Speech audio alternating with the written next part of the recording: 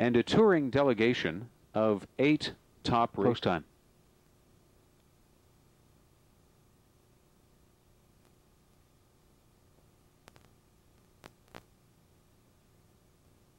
Ninth race, the 1997 championship final of the Canadian Breeders.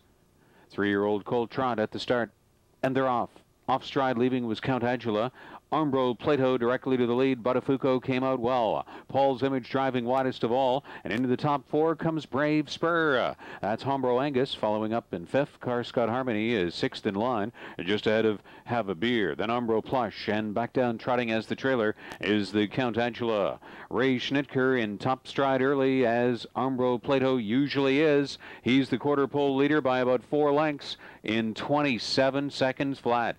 Armbro Plato puts up a big opener, and Brave Spur is along in second. Buttafuoco had to relent, at least at this stage, and take in from third. Two more lengths. Hombro Angus is fourth. Paul's Image settled out in fifth. Here comes Carscott Harmony, first out from sixth. Have Abir on his cover, seventh at the outside. Armbro Plush moved out from eighth, and Count Agila is catching the pack from ninth position.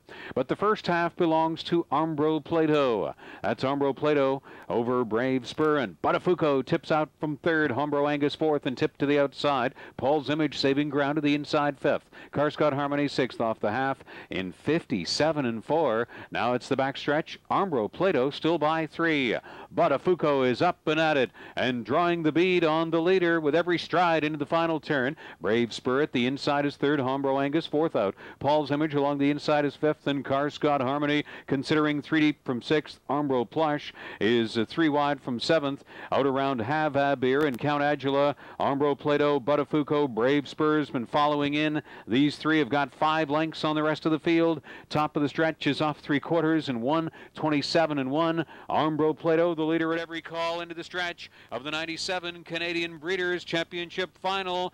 Brave Spur begging to get out of the pocket. He doesn't have clearance though from Buttafuoco yet. Armbro Plato is keeping Brave Spur locked up tight. Armbro Plato staggering at the end but wins it.